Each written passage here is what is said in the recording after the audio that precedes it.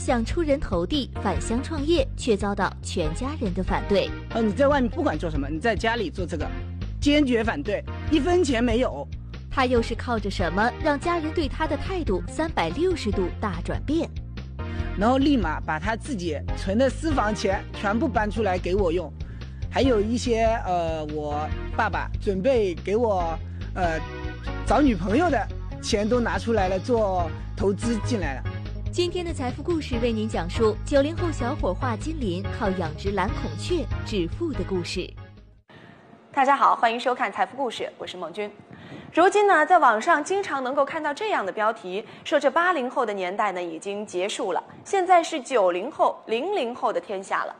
仔细想想呢，还真有这么一回事儿。咱们今天给大家推荐的致富人呢，就是一位九零后，今年二十二岁，养殖蓝孔雀第三年就年入五十万。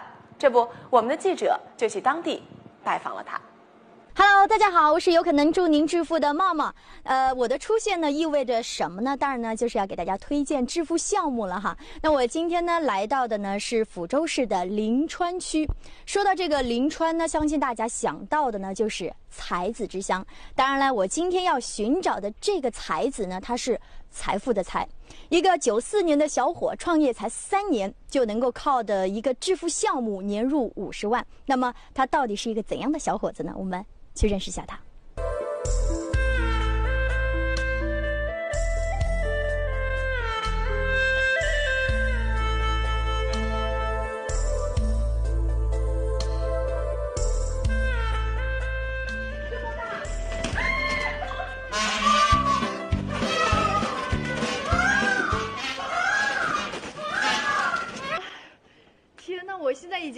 经是心跳加速啊，还是没有抓到，很遗憾的。那个，当然了，要请教一下你了哈，怎么就有有有方法吗？因为抓孔雀，而且要拿住会拿这个兜，一定不要乱兜的，一定要看住它的头。我们要第一步要先兜住它的头部，然后整个身子就进去了。然后我们抓一只试试看。好吧，我我我我往后退。不用。哇！这就是我们抓的。文龙，把它拿出来的时候，抓它的翅膀。你看，哇，其实很那个的。你只要把它抓的舒服，它也不会动的。华金林，二十二岁，养殖蓝孔雀三年。哦，我我能摸一下吗？可以摸的。它不会咬我吧？不会咬人的。看着我们的镜头，打个招呼。那我想，我想问一下，这个是公的还是母的？这只是母的。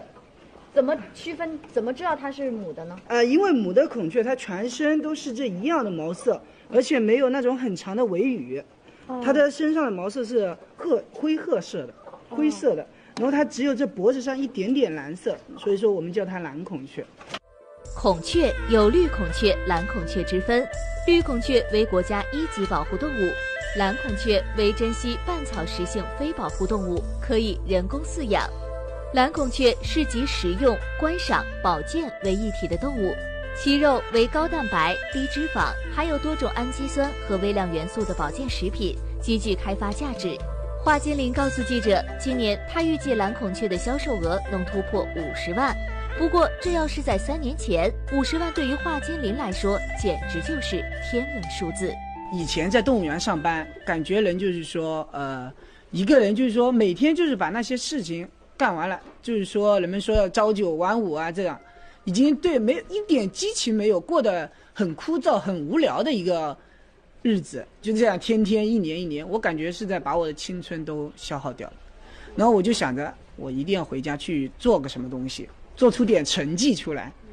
那么，到底选择什么行业好呢？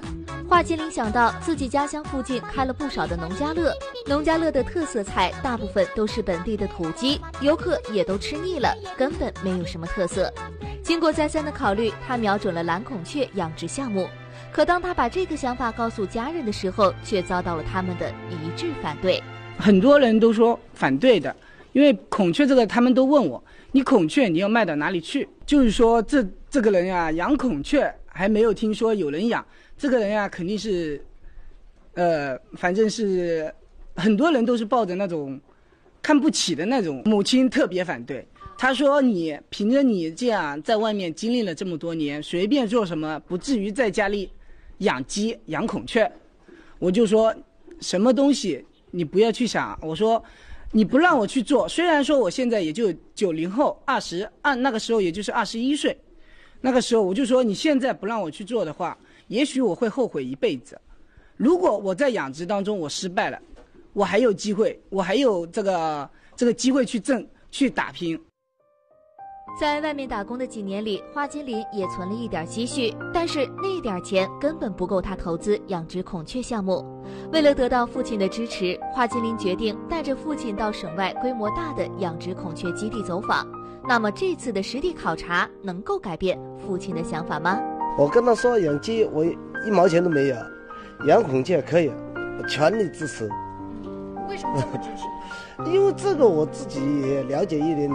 他也就看着这个孔雀，哎，比较好一个项目，说养的人比较少，我们就有希望了。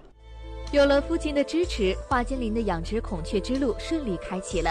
他花了几万块钱从外地进了一批孔雀种蛋，他满心欢喜地等待孔雀破壳之日。可是等待他的不是惊喜，而是惊吓。第一次在养孔雀苗的时候，育雏育雏期间，因为虽然说有上家的指导。但是上家的指导只是说个大概，具体的有些细节还是靠我们自己去操作。然而就是在因为孔雀出壳的时候，早第一第一次第一批的时候是在五月四五月份，那个时候白天温白天夜晚温差是特别大，那么我们就把这一点忽略了，然后就是出现了一些死亡，死掉了一部分。这就叫做说起来容易，做起来难。华金林只知道昼夜温差大会对孵化孔雀蛋有影响，但是孵化孔雀蛋的温度要控制在多少度，他却浑然不知。眼看着自己花了几万块钱购进的孔雀种蛋就要打水漂了，为了最后一搏，他开始查阅大量的养殖技术书籍，一次次试验，终于找到了孔雀死亡的原因。原来呢，孔雀蛋孵化呀，对温度的要求那不是一般的严格，摄氏三十七点五到三十七点八度，温差只有零点三度，低了不行，高了也不行。刚开始做嘛，也没有很多经验，就把它想象的很简单，应该没事。好了，就死掉了一部分。找到了问题的症结所在，最终存活下来了二百只孔雀。为了确保孔雀健康成长，华金林可是二十四小时待在养殖场照看它们。八个月过后，华金林养殖的这些孔雀就要开始对外销售了。可这个时候的他又开始犯难了。第二个问题出来就是，我们孔雀已经达到了，呃，八个月我们要销售了六斤左右。那么我们就是在销售当中没有，呃，没有什么一定的客流量，就是说客户。我们我也就抱着，因为孔雀毕竟在我们抚州市区，没有人听说有人在吃这个孔雀，那么我就一个人，因为刚开始创业，什么都没有，就一个破电瓶车，我们就一直那一条街全部是我们临川区这一块的，呃，就是农农庄酒店，属于中高档的那种档次的酒店。农庄，然后我就每一家发名片去问你们这边有没有需要，一天跑过来以后。呃，总共跑了有二十多家，然后跑的电瓶车已经完全是没有电了，把电瓶车推回家的。好在功夫不负有心人，第二天华经理就接到了一笔订单，总共是八千。但是对于我第一次从外面返乡回来创业，呃，这八千块钱虽然是一个小数目，但是对于我来讲，它的价值不是。呃，钱的数字的原因是我一个，就是说我成功的一个经验。华金林说，这笔订单给他带来的意义，不仅是给他增加了创业的信心，而且还让一直反对他回乡创业的妈妈有了一个三百六十度的大转变。就是说，第一次的效益出来了，妈妈看到我的效益了，她感觉这个孔雀啊，也是一个好项目，然后立马把她自己存的私房钱全部搬出来给我用。大三，我一定必。跟你争光了，嗯，会跟你争气啊。他这句话你当时说出来之后，你作为母亲心里是什么样的？心里非常高兴啊。还有一些呃，我爸爸准备给我呃找女朋友的钱都拿出来了，做投资进来了。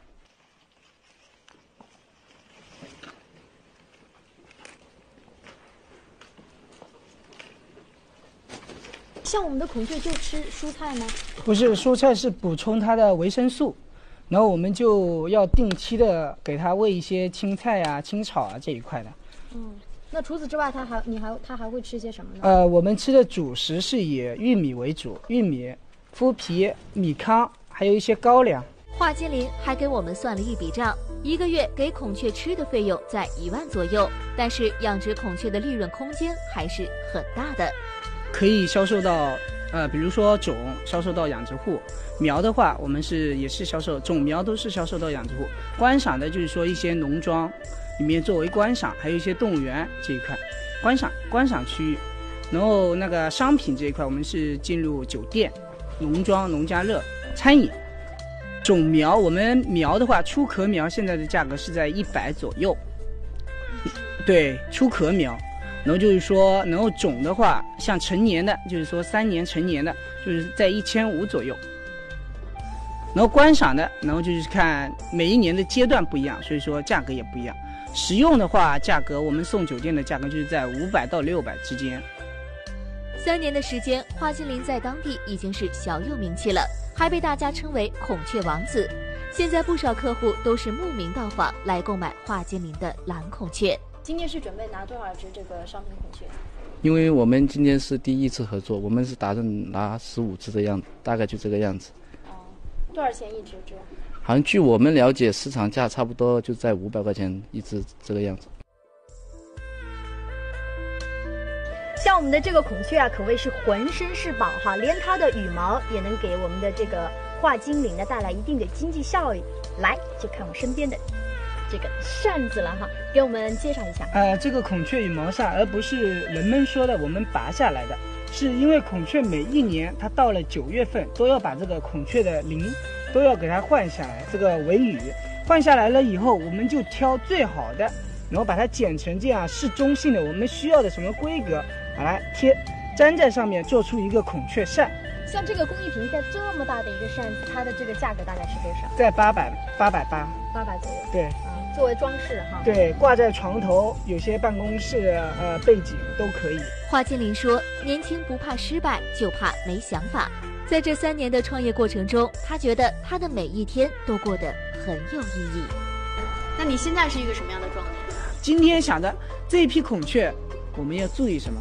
明天又要做一些什么东西？每一天都不知道要发生的什么东西。